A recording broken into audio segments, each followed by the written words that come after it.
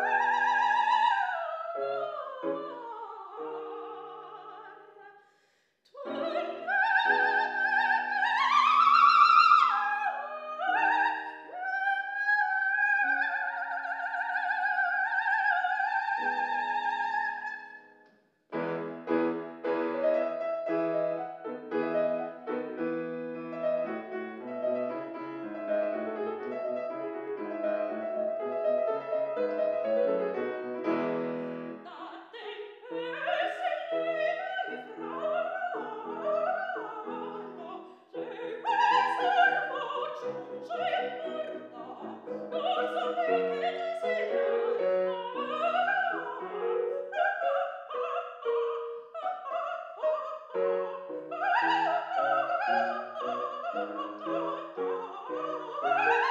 you.